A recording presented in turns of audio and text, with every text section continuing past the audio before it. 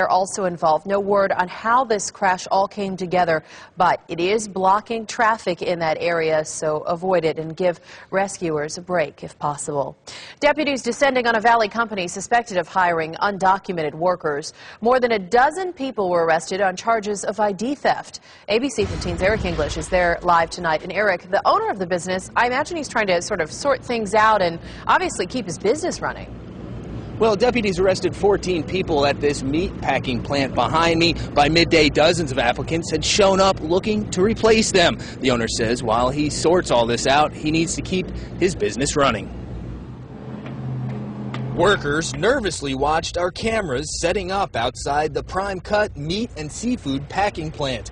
For employees and managers, and especially the owner, it's been a tough day. We're not a big business.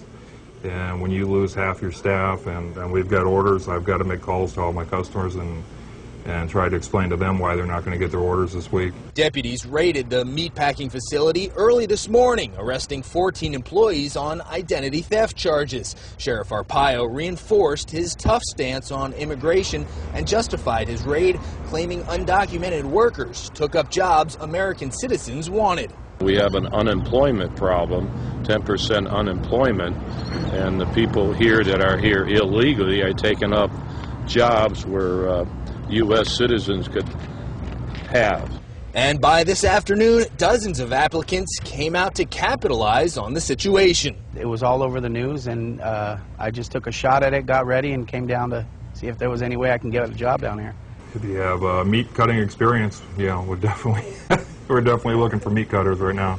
Prime Cut owner Chad Poppin says investigators took most of his paperwork and he still has a lot to straighten out after the raid. But he'll consider the applicants and hopes they can keep the business on its feet. We'll be struggling.